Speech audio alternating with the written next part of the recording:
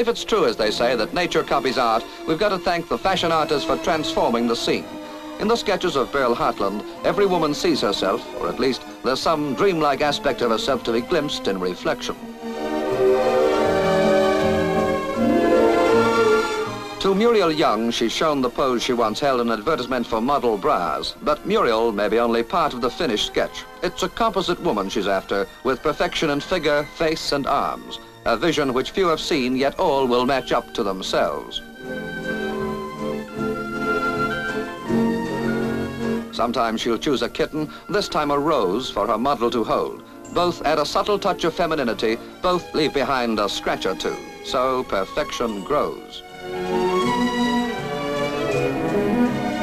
And now, June Thubron for loveliness in arms and hands and head.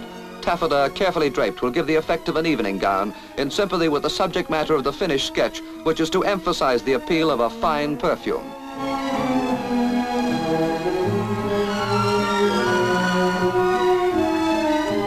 A photograph would capture the beauty of the pose, but into the print would enter character and personality, and then she'd emerge as an individual too an individual with whose likeness no woman could quite identify herself.